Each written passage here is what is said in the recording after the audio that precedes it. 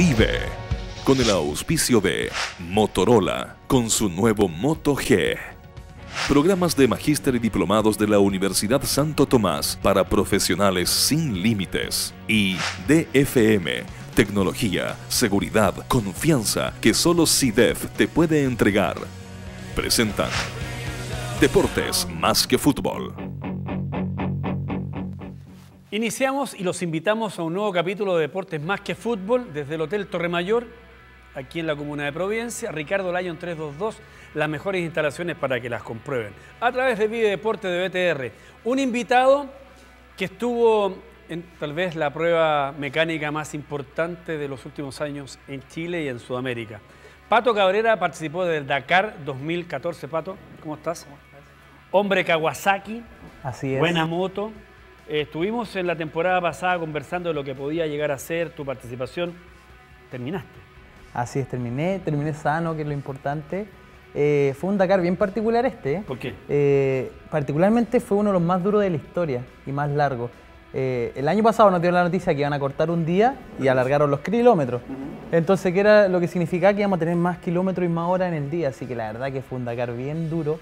Y, ¿Y uno se percata de eso antes? O sea, ¿Uno se prepara para un Dakar más duro o en, en la medida que desarrolla la competencia te vas percatando? Mira, nosotros nos habían dicho este Dakar, claro, como te comentaba, que nos iban a restar un día y nos sumaban los kilómetros.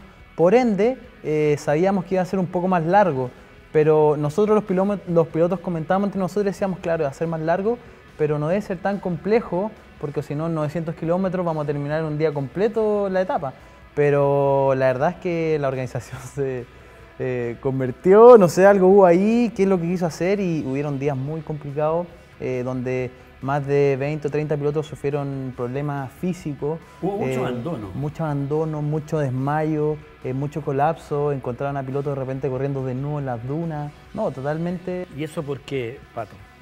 Lo que pasa es que hubieron días de mucho impacto en tema de temperatura, mucho calor. ¿En qué zona especialmente? Eh, las dunas de Niwil fue muy complicado. ¿En qué zona es eso? ¿En qué? Eso es Argentina. Ya. Argentina fue creo que el cuarto, quinto día y, y claro, tuvimos una temperatura sobre 50 grados eh, en el sensación térmica y nosotros en el traje sentíamos con el casco. con el casco todo y la verdad que ese día se desmayaron muchos pilotos. Fue el día que falleció un piloto y Perdón, ¿qué- qué- Pato, tú eres una persona joven, ¿tú tienes cuánto? 22. 22 años. Cuando alguien fallece en la competencia donde tú participas, Es ¿Qué muy pasa? duro. Es muy duro. Mira, me tocó el año pasado, el primer Dakar que corrí, pasar por la, por, por la escena de, de un accidente de un piloto y verlo fallecido. La verdad que fue impactante. A mí nunca me había pasado y ahí uno donde, donde se pone a pensar eh, que si realmente es lo que uno quiere o porque uno está propenso a eso. O sea, vemos compañeros, eh, en mi caso mi com- un- uno de mis compañeros del equipo que iba se desmayó, lo encontraron convulsionando, eh, no lo pillaban en una hora y probablemente hubiese estado de piloto que parece casi como una broma de humor negro, pilotos desnudos corriendo por las dunas, eso es porque se les había, se les había apagado la luz. Era como, es, eh, pasó que fue un shock de calor ese día y, y claro, muchos desmayos y otros que, bueno, este piloto que era un francés, español, no me acuerdo, y que lo encontraron corriendo desnudo y, gritando. Y, a nosotros nos cuenta la historia el día que llegamos en la noche y no la podíamos creer. Eh, ese día que cruzamos la meta y, nos dimos cuenta que éramos menos de la mitad de lo que habíamos cruzado, dijimos, ¿qué pasó aquí? O sea, yo vi, me tocó ver eh, dos motos incendiándose y dije, wow, está fuerte el calor y, y era más que obvio que iba a pasar eso, pero cuando uno llega a la meta y se da cuenta que hay 200 pilotos y, están, y llegaron 100, chuta, decir, esto es lo más difícil. Yo, eh, lo que pasó a mí, que dije, pasé lo más difícil. Y nada, el otro día fue el doble peor y, y fue así, fue así ¿A ti todos los te pasó algo? Particularmente no, la verdad que yo me fui, yo creo que muy bien preparado en, en dos ámbitos, la parte física y muy bien preparado la parte psicológica, que, que iba a lo peor. Yo jamás me... Lo pasó en Dakar del año pasado que fue un poco más, más light, pero se comentaba que este iba a ser muy fuerte, así que mi preparación particular, que era a lo peor, que era lo que se comentaba. Pero cuando uno está participando en el Dakar y ve todo esto, todas estas dificultades, accidentes, etcétera, uno piensa en llegar a la meta, en salvar con vida o quiere llegar de los primeros. Mira, en mi caso, eh, yo me acuerdo que el primer día nos sentamos con mi papá, mi mecánico, el jefe del equipo y, y tomamos una decisión. Dijimos, o vamos a terminar este Dakar o tratamos de salir un poco más adelante. Y no importa lo que pase, sabiendo que las marcas lo único que quieren es que uno termine, que llegue a la meta. Pero también tenemos metas personales y, queremos ir eh, quemando etapas y, cumpliendo objetivos. Así que salimos un poco a atacar, eh, lo que significó que nuestra logística en términos de repuestos, de, cambio, de mantención, eh, aumentó al doble, al triple. Pero yo salí con el objetivo de avanzar, de tratar de llegar lo más adelante cada día, pero, pero lo íbamos hablando día a día, como te decía nos topamos con días de mucho calor o de repente días de sobre 800 kilómetros, entonces era una locura. 800 kilómetros la prueba. La prueba, o sea, andábamos más de 10, 12 horas en la moto y con un polvo, frío, calor. Bueno, realmente yo creo que eh, eh, esta fue la carrera más dura de la historia, se sintió así porque uno escuchaba, yo me sentaba a escuchar el chaleco, conversamos y decía, yo nunca había, pasado esto, nunca en mi vida había pasado esto. Cuando, perdón, disculpa, eh, cuando abandona el chaleco, ¿qué pasa? porque el chaleco es como el, es como el líder, es como la imagen, es como el referente. Claro, ¿qué es lo que pasa? Mira, como, esto como un camarín. Nosotros cada vez que pintamos la hoja y tenemos alguna duda o, estamos medio confundidos en la ruta, vamos de chaleco, chaleco, mira, ¿qué es esto? Explícamelo, o más o menos. Eh, y claro, cuando Chaleco se baja o, sufre lo que, lo que le pasó, claro, medio los pilotos quedamos medio a la herida, pero, pero nada, el Chaleco eh, sufrió, yo creo, una desconcentración en una parte fácil, no, no, era una parte, no era una parte complicada, una parte muy rápida, pero, pero nada, Chaleco viene a un ritmo que una pestañada eh, te hace perder o te hace sufrir un accidente. Ustedes vienen a un ritmo más, más, más, bajo, más lento? Claro, no sé si más lento, pero lo que pasa es que yo me Ellos, claro, en mi caso yo tengo una carrera por delante, tengo una vida por delante y trato de cuidarla mucho. Tengo una familia, mi mamá, mi papá la sufren toda por fuera. Yo creo que eso es lo peor. La familia sufre mucho en este tipo de carrera y, cuando uno llega atrasado, o, lo que me pasó un día que tuve un problema mecánico y llegué dos, creo que cinco horas atrasado, eh, mi papá, mi mamá no sabían qué me había pasado, entonces son ellos los que sufren. Eh, uno sabe lo que le pasa, pero pero claro, es complicadísimo. Eh, a mí me ha llamado la atención algo. La hoja de ruta que está en la parte delantera de la moto. Ustedes con casco, polvo, de pronto lluvia. ¿Qué leen? ¿Cómo leen? Mira, eh, es como es lo más arcaico posible. O sea, uno dice GPS y dice brújula digital, dice repetidor de cap, pero la verdad es como interpretar una hoja con una flecha, eh, te dibujan unas dunas y te ponen al lado una brújula digital. O sea, la hoja que te dice, en el kilómetro 5 tienes que tomar el grado brújula 180. Entonces tú en el kilómetro 105 miras la brújula y te tiene que ir al 180.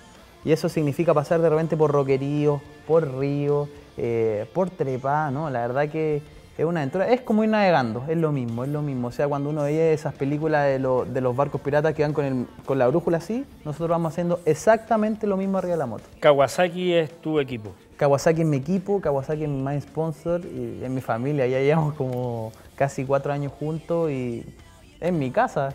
A la vuelta de la pausa vamos a conocer una moto Kawasaki para que ustedes sepan eh, cómo es y qué es lo que pueden comprar para, para andar eh, de manera absolutamente amateur. Pero antes, el nuevo Moto G de Motorola, este. Pantalla HD, 4,5 pulgadas, procesador quad-core Snapdragon, tiene memoria de 16 GB, eh, digo, más de 50 GB de regalo en la nube y actualización garantizada a Android KitKat. Esto es Moto G de Motorola. Sin límites para soñar, sin límites para crear, sin límites para emprender. Programas de posgrado 2014 de Universidad Santo Tomás para profesionales sin límites. Infórmate en www.posgradoust.cl o visítanos en cualquiera de nuestras sucursales. Universidad Santo Tomás, acreditada, tú puedes. Y este es un lujito, un H30 Cross de DFM, un auto con alta tecnología, diseño y seguridad. Y lo mejor, mantención por dos años o 50.000 kilómetros a costo cero. Y todo con la garantía y confianza CIDEF. ¿Te quieres ganar este Moto G de Motorola?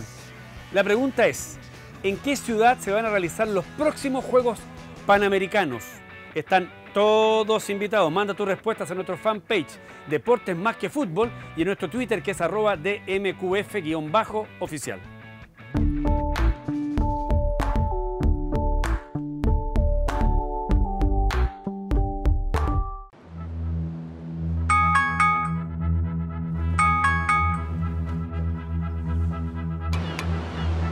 Es tu ritual de cada mañana. Es tu copiloto. Una sala de cine. Es tu exnovio. Y tu próximo novio. Un mecánico. Es tiempo con tus seres queridos. Es un recuerdo. Es tu ritmo. Es un mal momento. Y un momento en el tiempo. Y a veces hasta es un teléfono. Un smartphone es algo diferente para cada persona. Y ahora es para todos. Moto G.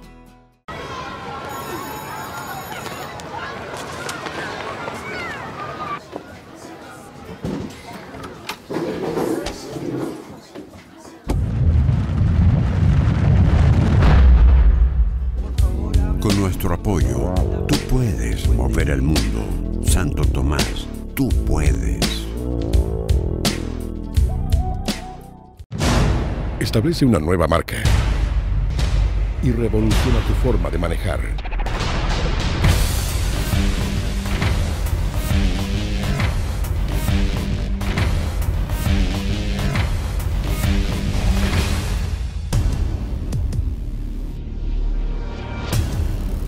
H30 Cross, H30, S30 Sedan de DFM Dongfeng, por sobre todas tus expectativas.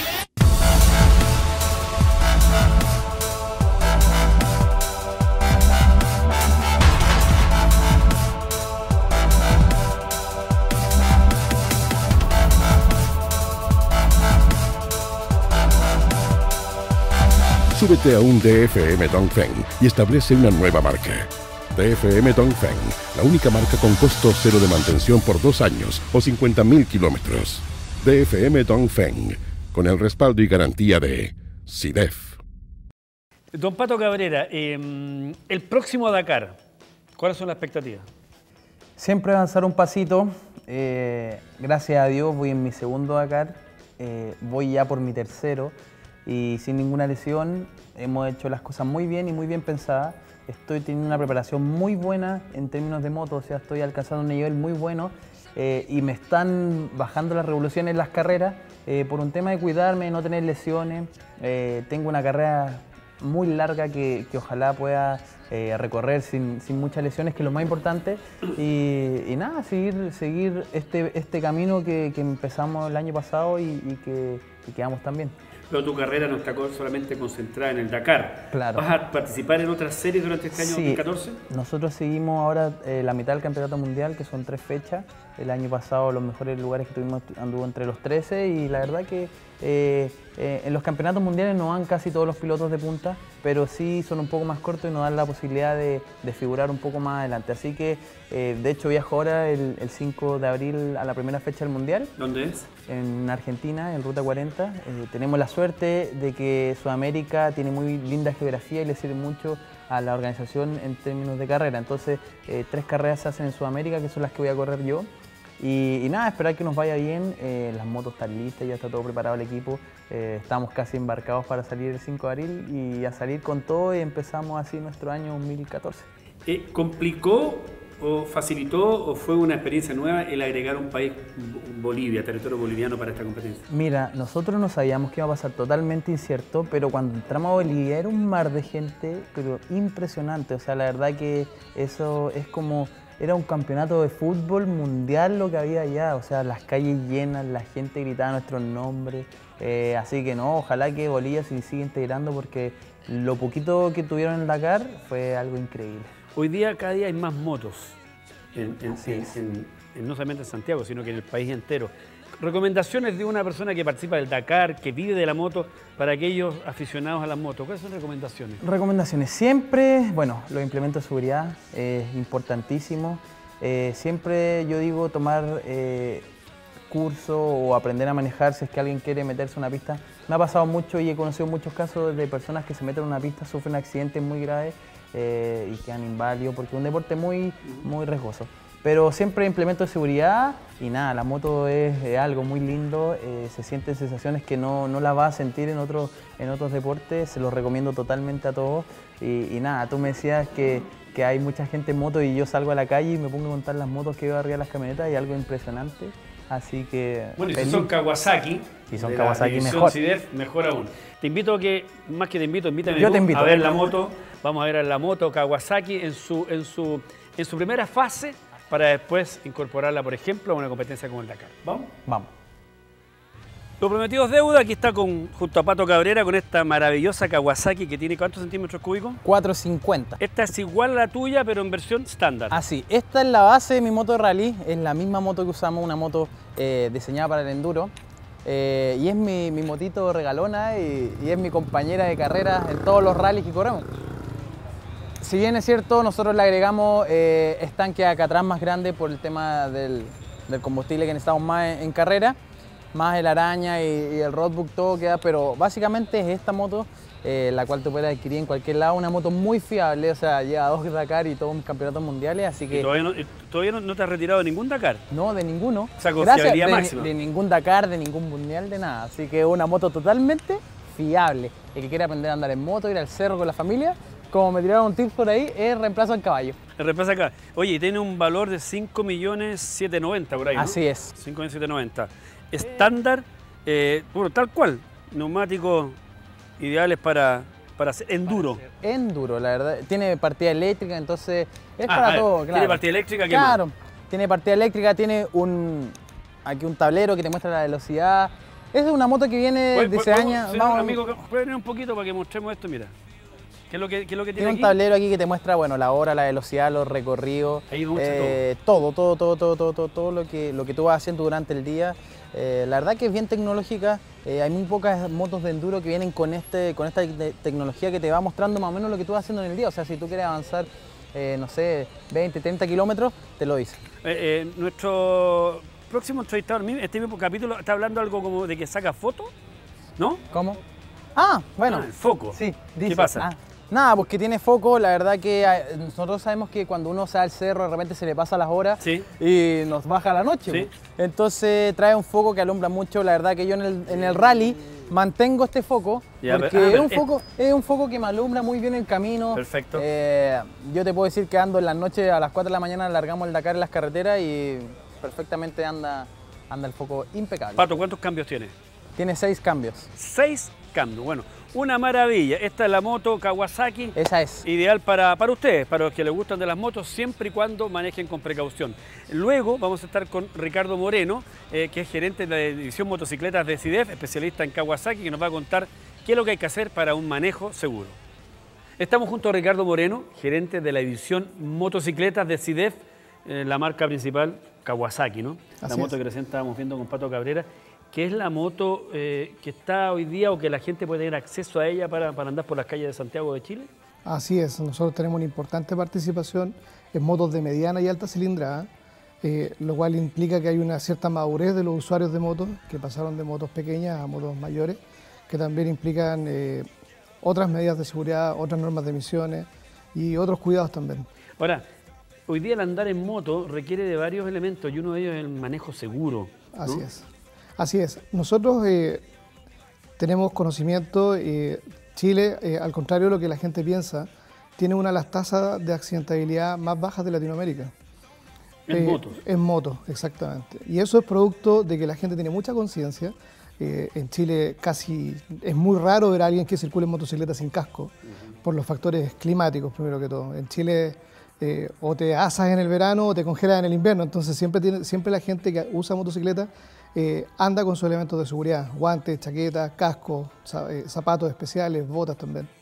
Y en ese sentido, Ricardo, cuando uno dice manejo con cuidado, manejo seguro, eh, se refiere a, bueno, los implementos, pero además que hay clases, yo puedo acceder a que me enseñen a andar en moto, porque no es lo mismo andar en moto que andar en un, en un, cach- en un carro, en un auto que está protegido, ¿no? Exactamente. Eh, el, el motociclismo es un, es un- un riesgo controlado. ¿ya?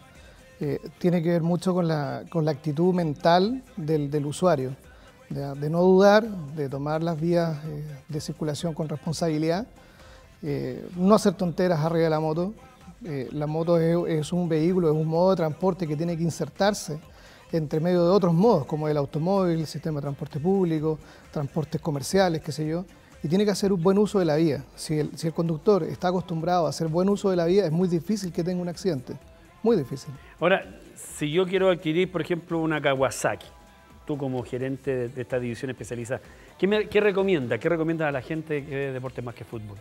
Eh, bueno, hay que ver primero para qué quiere uno la moto. Si la quiere para divertirse, si la quiere para salir a, hacer enduro con los amigos o hacer motocross, si quiere hacer deporte, o si quiere un vehículo que lo lleve del trabajo a la casa y de la casa al trabajo, son elecciones totalmente distintas. Y esas elecciones también implican eh, modos de conducción distintos, eh, posiciones de conducción distintas, cilindradas distintas, entonces hay que asesorarse bien, hay que escuchar lo que le dice el vendedor. No llegar y comprarse. tiene gente especializada para...? Tenemos gente muy especializada en eso y es muy importante que la gente siga los consejos del vendedor porque él no, es que le quiera vender esta o esta otra moto, está pensando en su seguridad. O sea, ellos están entrenados para preocuparse de la seguridad del usuario. Bueno, ese es el mensaje que hoy día a través de Ricardo Moreno, gerente de la división motocicleta, queríamos entregar.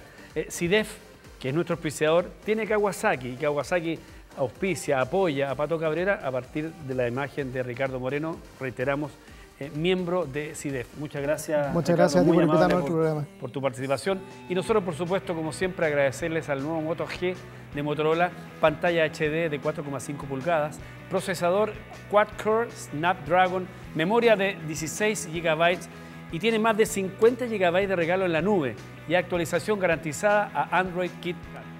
Esto es Moto G de Motorola. Sin límites para soñar, sin límites para crear, sin límites para emprender. Programa de posgrado 2014 de Universidad Santo Tomás para profesionales sin límites. Infórmate en www.posgradoust.cl. Nos puedes visitar en cualquiera de nuestras sedes. Universidad Santo Tomás, acreditada, tú puedes. Y esto Ricardo lo conoce muy bien, porque este es el nuevo H30 de Cross de DFM, alta tecnología. es un precioso auto, es muy confiable y lo mejor que tiene es la mantención. La mantención, porque son dos años o 50 mil kilómetros a costo cero. Me ayudó con la mención. Todo con la garantía y confianza. Decía. ¿Te quieres ganar este Moto G de Motorola? La pregunta es, ¿en qué ciudad se van a realizar los próximos Juegos Panamericanos? Están todos invitados. Manda tus respuestas a nuestro fanpage Deportes Más que Fútbol y en nuestro Twitter que es arroba DMQF-oficial.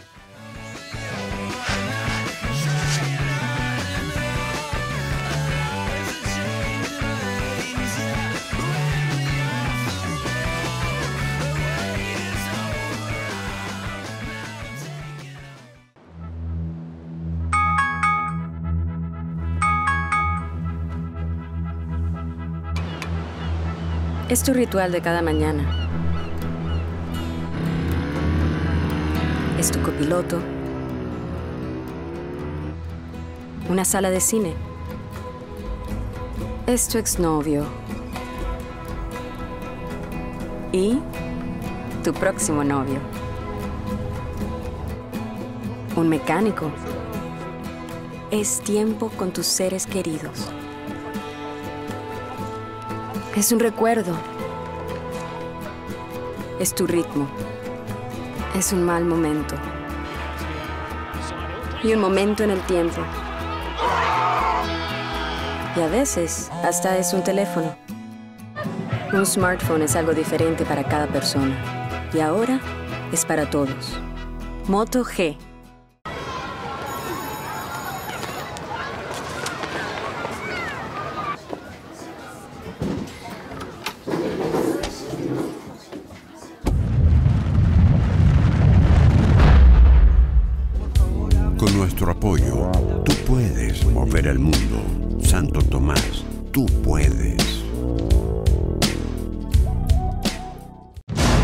Establece una nueva marca y revoluciona tu forma de manejar.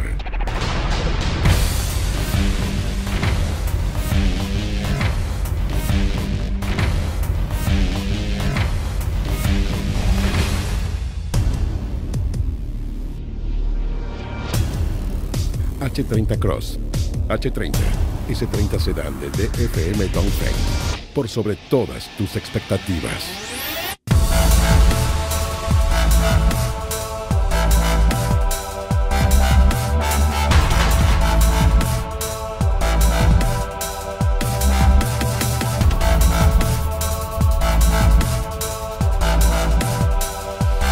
Súbete a un DFM Dongfeng y establece una nueva marca. DFM Dongfeng, la única marca con costo cero de mantención por dos años o 50.000 kilómetros. DFM Dongfeng, con el respaldo y garantía de SIDEF. Vive con el auspicio de Motorola con su nuevo Moto G. Programas de magíster y diplomados de la Universidad Santo Tomás para profesionales sin límites. Y DFM, tecnología, seguridad, confianza que solo CIDEF te puede entregar. Presentaron Deportes más que fútbol.